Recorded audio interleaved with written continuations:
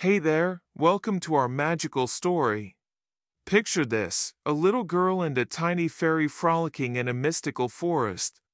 Can you feel the enchantment in the air? Let me introduce you to our main characters. First up, we have Little Star, a courageous fairy with extraordinary powers.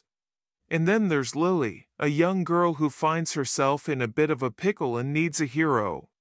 Presentation of problem slash challenge so, here's the scoop.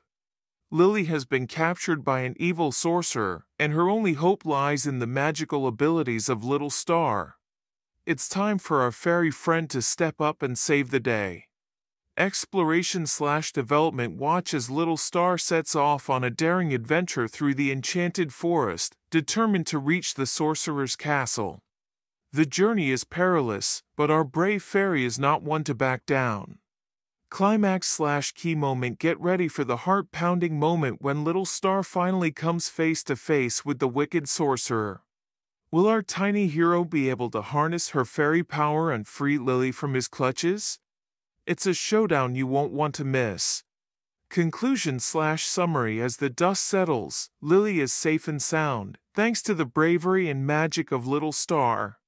The bond between them grows stronger, and a beautiful friendship blossoms in the aftermath of their adventure.